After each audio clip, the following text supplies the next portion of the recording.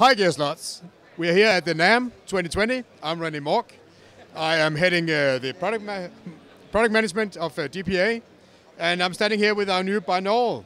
So we have a brand new binaural headset that can be uh, used, of course, to uh, to do the uh, recordings in 3D surrounding your head.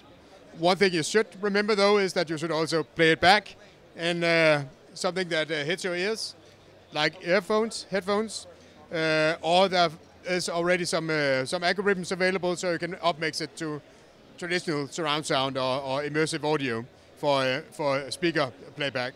But the general idea is that you're using your head, your skull, and your pinna to uh, to create a um, uh, an image um, that is spaced and gives the uh, immersive uh, solution or resolution of what you're actually experiencing.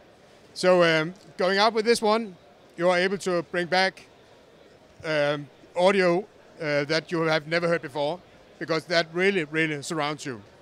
So uh, basically what it is, it's uh, two of our well-known 4060 capsules that are uh, selected, so they are, um, are equal.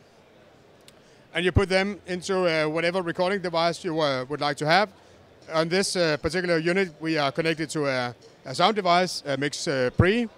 Uh, it could also be, um, for instance, our uh, device or MMA slash A, this little creature here that has the two um, microdot inputs and could connect directly to an iPhone.